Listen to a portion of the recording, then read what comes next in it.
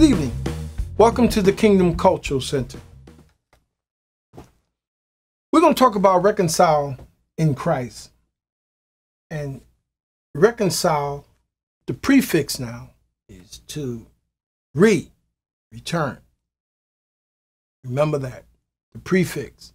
In most of the teachings, reform, redemption, reconcile, uh, uh, restore, all this imply that we're coming back. He's drawing us back. Keep that in mind because it's very important.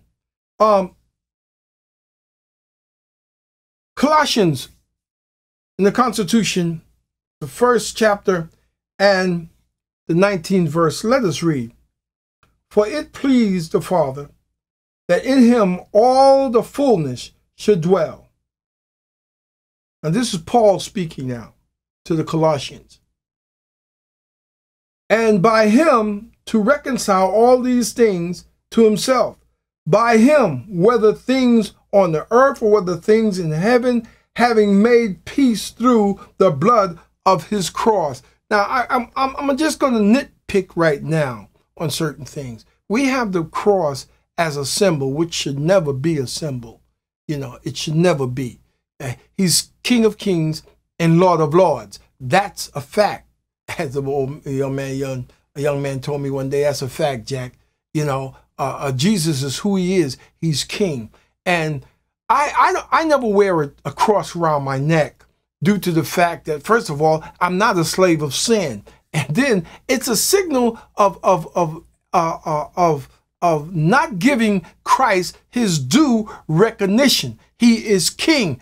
The cross was a very sinful and accursed thing that, uh, hallelujah, that uh, uh, um, uh, uh, men were crucified and hung that way. It wasn't a good sign at all, you know. And, and, and, and keep in mind, Jesus no longer resides there. That's not a symbol of his. He sits on the throne next to his father. Uh, the Constitution bears this out. So I want you to understand something that Jesus is who he is. He's King of Kings and Lord of Lords. And regardless if you embrace him or not, he still is that, you know. And there will come a time, as Malcolm X say, uh, the chickens will come home to roost. In other words, there's going to come a reckoning where you're going to have to answer for your deeds.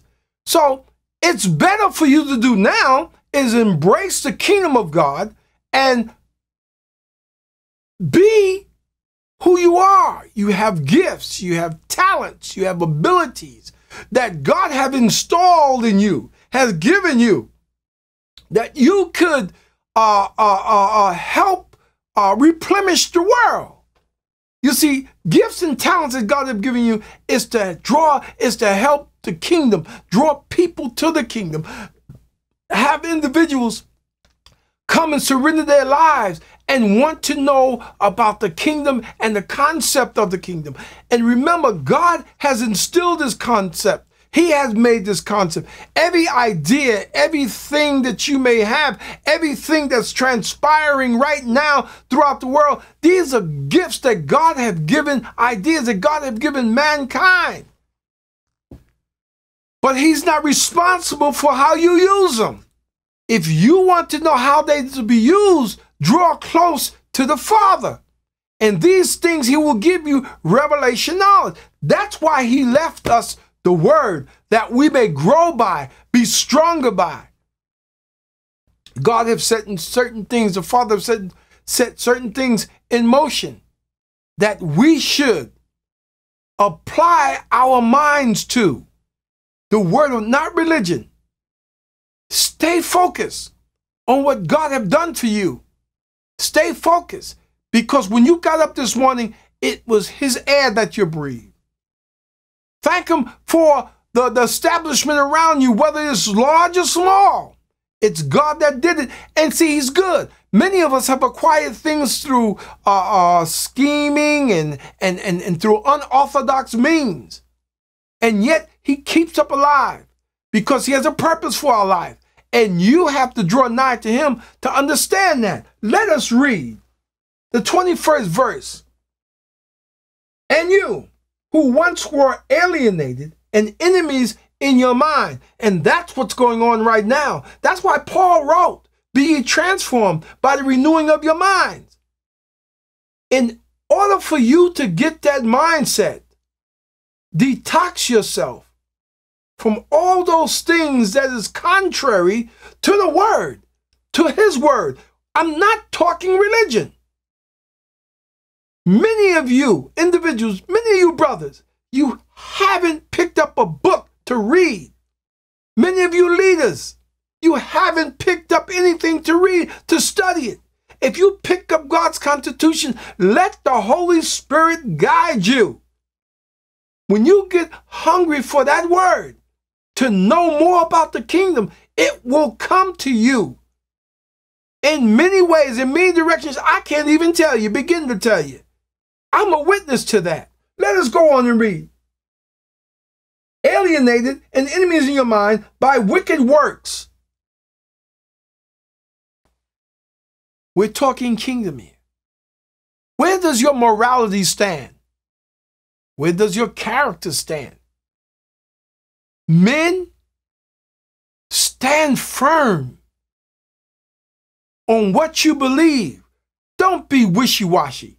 There's so many preachers and pastors right now. You know, I know, I, I know one pastor in particular. You know, uh, among many, but you know, his own workers don't believe in his word anymore. Your word is your bond.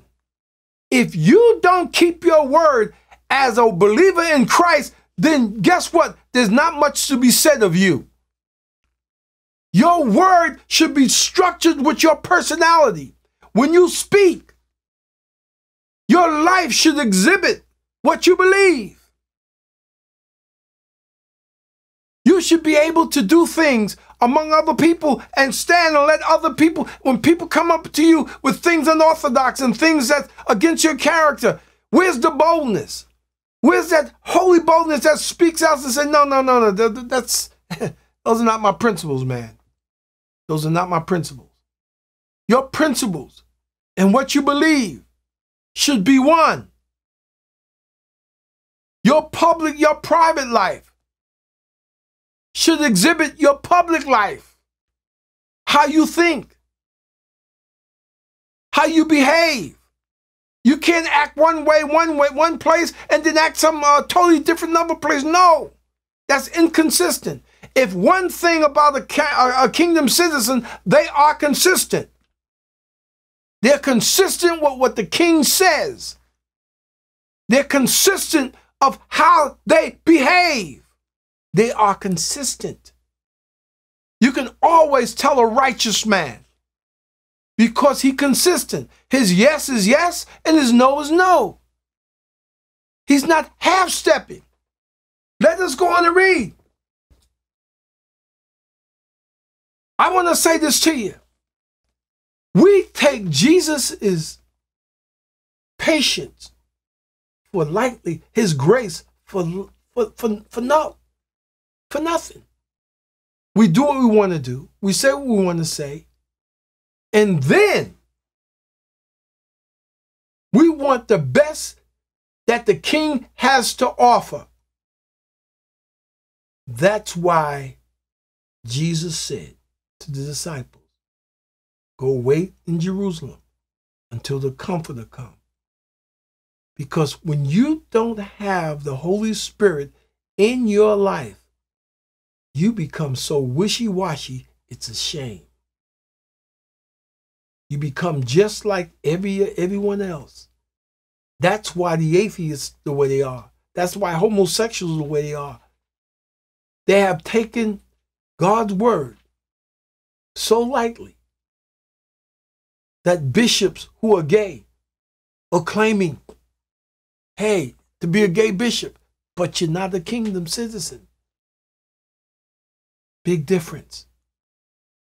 So I want to say this to you before I go. Embrace the kingdom of God.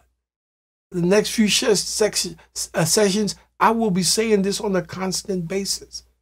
Seek first, seek first the kingdom of heaven and his righteousness, and all things shall be added unto you. Have a good day.